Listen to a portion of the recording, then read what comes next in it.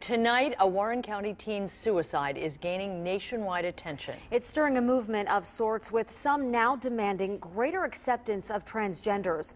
Joshua Alcorn was born a boy, but wrote in her suicide note that she was a female and wanted to be referred to as Leelah. The 17-year-old blamed her death on her parents' failure to accept her gender identity and sexuality. Nine on Your Side's Jason Law spoke to her family and friends about Leelah's devastating suicide note. Jason?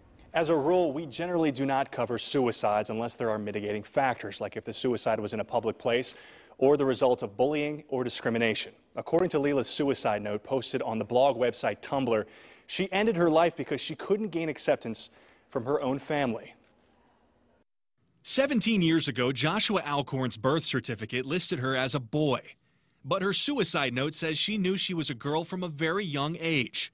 She wanted to be known as Leelah one day he finally posted on Facebook that like, hey, I'm I'm coming out. You know, like this is me. This is who I am. And everybody was like, yeah, man, that's great. Came to school, and everybody gave him massive support. Chris Davis grew up next door to Leelah. He says his friend didn't have problems at school.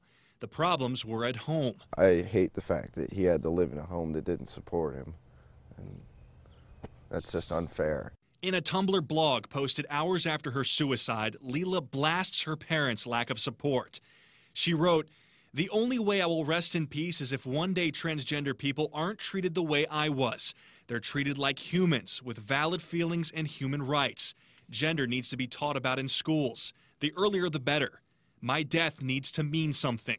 Occasionally he'd tell me like, "Oh, I feel like I'm something else or I'm someone else," and wouldn't go too far with it. You know, I feel like it was something, it was really personal to him. Nine on Your Side spoke with Leelah's mother briefly at their home. She said she didn't want to talk to us for the story. But the conversation is growing within the transgender community. Vicky is with the Cincinnati support group Crossport. Regardless of how bleak it is and how bleak it looks, there is always, always a brightness at the end of that long, long, dark tunnel. I really wish that I could have been there for him, you know, more often. I wish I could have been, I feel like a pretty bad friend. Well, tonight, Leelah's former high school, uh, Kings High School, will hold a moment of silence for Alcorn before tonight's basketball game tonight at 7.30.